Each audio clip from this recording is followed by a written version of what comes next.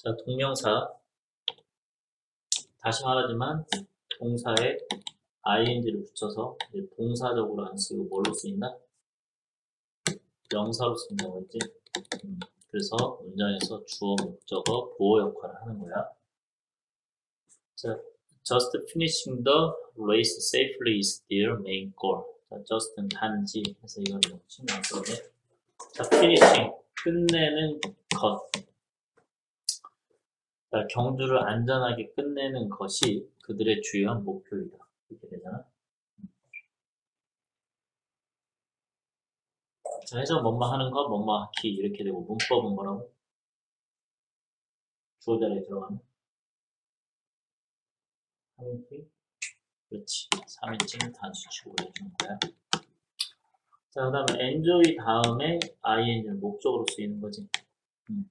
I enjoy singing in the race 나는 in the tree 나무에서 노래하는 것을 즐긴다 그랬어. 자, 뭐뭐 하는 것 하고서 목적어니까 을로 해석하면 맞죠 음. 다시 말하면 singing으로 나와야 되지 to sing으로 나오면 맞아 틀려 틀리지 자, 동사 원형에 ing를 붙여서 명사처럼 쓸수 있다. 뭐뭐 하는 것, 뭐뭐 하기로 해석하고 주어, 목적어, 보호 역할을 한다고 했죠. 자, 목적어로 쓸 때는 나하고 할 때는 메가푸스를 외우기로 했지.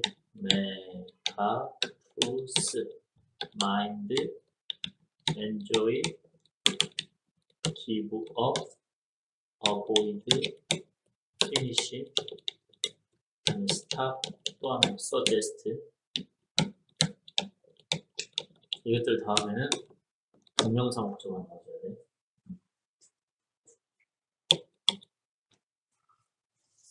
자, I enjoy listening to music. enjoy 나왔으니까 목적어는 동명사 목적어. 나는 음악 듣는 것을 즐긴다. He finished writing a letter. 그는 편지 쓰는 것을 끝마쳤다. A hour, an hour ago. 한 시간 전에.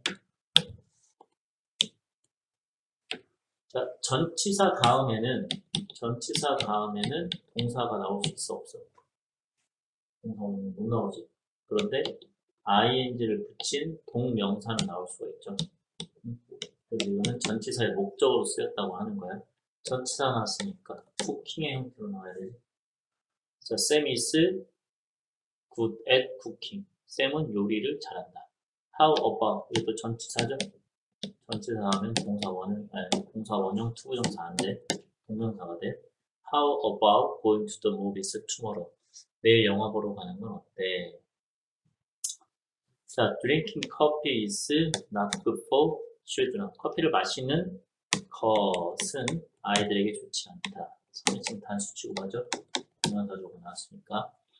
My hobby is drawing pictures. 나의 취미는 그림을 그리는 것, 그림 그리기이다. 되겠죠? 자, 이거는 동명사로 쓰였지? 보로 쓰였으니까.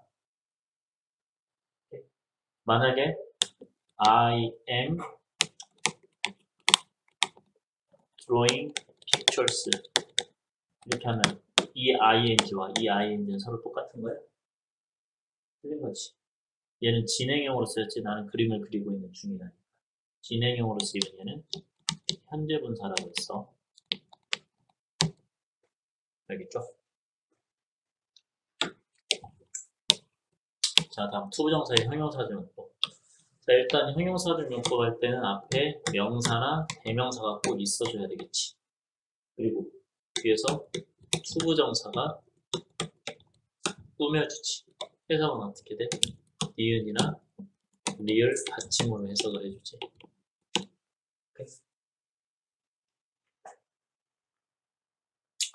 They must carry something to eat. 자, 그들은 먹을 것. 자, 앞에 이건 대명사거든. 그 다음에 먹을, 리을 받침으로 해석됐으니까 형용사적 용법이죠. 먹을 것을 가지고 다녀야 된다. I need some books to read on the plane. 나는 책을 필요로 한다. 비행기에서 읽을 책. 앞에 명사가 있고 리을 받침으로 했을 때는 형용사용법이지. 자, something, 그 다음에 anything, nothing. 이게 나오면은 이거 다음에 뒤에 투부정사가 나오잖아. 99%는 형용사적 용법이야. 이렇게 어떻게 돼 있어? 마 먹을 것, 마실 것, 입을 것, 할 것, 이렇게. 근데 만약 여기에 이 something을 또 형용사가 꾸며주고 싶다. 그러면 something 다음에 형용사가 나오고 이 투부 정사가 형용사 용법으로 쓰인다고 했죠. 음, 형용사가 이 뒤로 가서는 안 된다고 했어. 음, 그러니까 something cold to drink 이렇게 나와야 되지. 차가운 것, 마실 것, 차가운 마신 마실 것. 이렇게. 제 말은 something to drink cold 이런 식으로 나오는데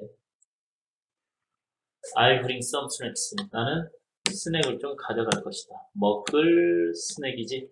자, 앞에 명사가 나와 있고 리을 받침으로 해석됐으니까 형용사정법.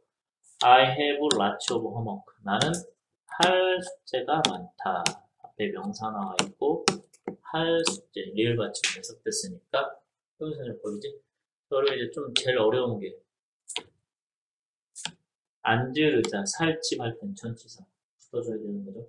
음, 기억나지?